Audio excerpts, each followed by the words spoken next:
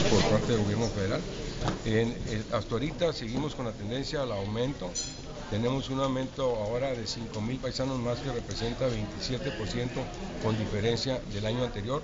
El año anterior fue el más alto en los últimos 5 años y este año lo vamos a superar.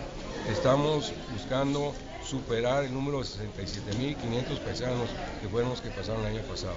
Creemos que lo vamos a lograr porque el aumento se ha mantenido constante a pesar de las alertas que han emitido tanto el, el gobierno norteamericano como el estado de Texas. La gente sabe que Chihuahua y Ciudad Juárez están seguros, tan seguros están, estamos viendo el aumento importante en el número de paisanos que están cruzando por nuestra ciudad y por nuestro estado. ¿Sigue la orientación y el apoyo a los paisanos que cruzan por? Seguimos haciendo en manera combinada federación, municipio y el estado, teniendo personas que atiendan a los paisanos. Los trámites son sumamente rápidos, los tres órdenes de gobierno están coordinados en la seguridad de las carreteras, tenemos ángeles verdes en carreteras federales, ángeles blancos en carreteras del estado.